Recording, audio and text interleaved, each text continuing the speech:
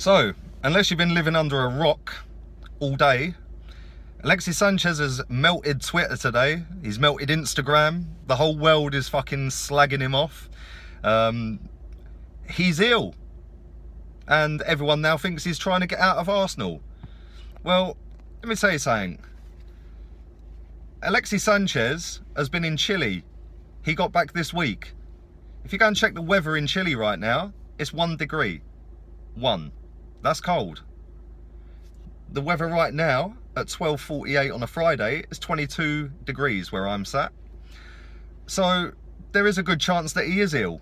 Obviously coming from cold weather to warm weather, there's a bloody good chance he is ill. Arsenal have already said that he's going to be back in training on Sunday. So before everyone has their meltdown and calls him a snake and says he's a money grabber and he's a wanker and all the other names they use, yeah, Let's wait and see if he turns up for training on Sunday.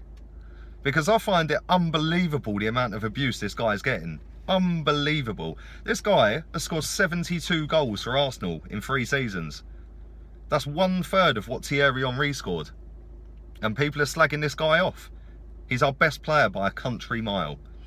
And what I find even more funny is the fact that Mesut Ozil and Alex Oxlade-Chamberlain get a pass. Why? Why does Ozil get a pass? Why is the Ox getting a pass?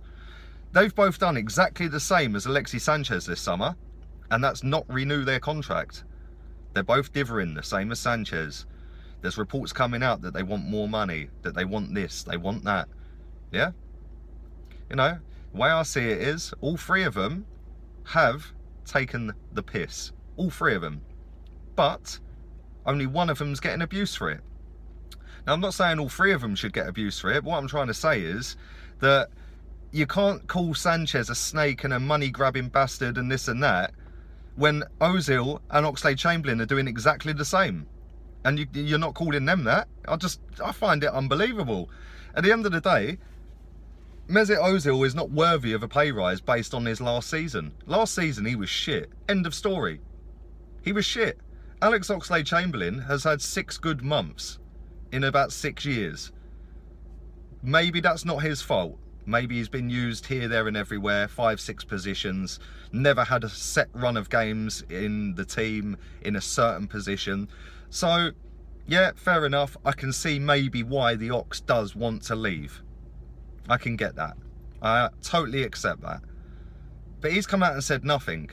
And everyone's just going, oh, okay, yeah, we'll, we'll sweep him under the carpet. Mesut Ozil is very clever in what he does. Mesut Ozil is a brand on his own. Without Arsenal Football Club, Mesut Ozil is a brand on his own. You've only got to go and check his social media accounts to see how many followers this guy has got. He's got his own clothing range. He's got absolutely everything flooding towards him. Yeah? Now, at the end of the day, he's got 7 million followers more than Arsenal Football Club. So Mesut is very clever. He'll come out and he'll say, I want to say, stay at Arsenal. I want to play for the club. I respect Arsene Wenger. Because do you know what? That's exactly what all the fans want to hear. And that's fantastic. That's great. But the reality is, he still ain't fucking signed a new deal. So if he wanted to stay at Arsenal that much, why the fuck ain't he signed it?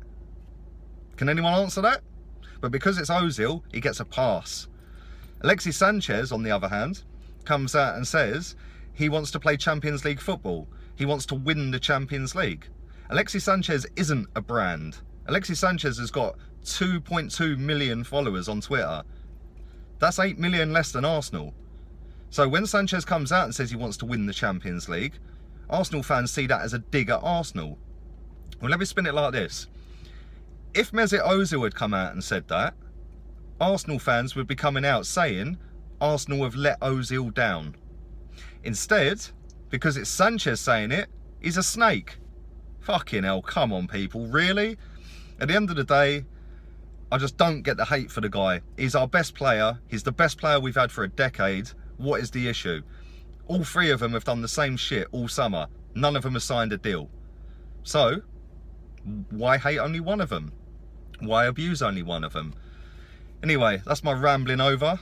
Um, let me know what you guys think. In my opinion, I personally think all three of them are stay. But, they're all playing the game. Anyway, If you haven't subscribed already, smash the subscribe button. Where the fuck have you been? Um, smash the like button as well while you're at it. Absolutely annihilate the like button.